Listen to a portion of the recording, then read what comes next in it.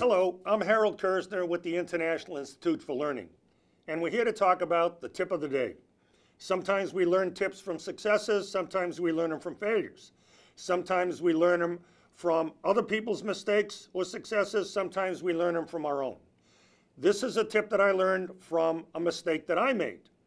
One of my projects came to an end, and I thought one of the workers did a great job.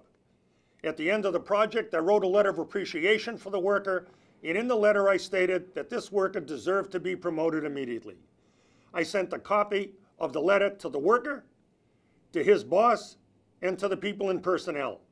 Then I got a phone call from his boss, the department manager, telling me that this worker was one of the worst employees he's had in his department, and this worker has no chance of ever being promoted. He told me that this worker had been in his office every morning and every afternoon for the duration of the project, and he had been helping him with his job. He told me that he, the line manager, should be the one that gets promoted. He said, Look, you're the project manager and I'm the line manager. You manage the project and I manage the line. I don't tell you how to manage the project, and you don't tell me how to do wage and salary administration. So, what's the tip?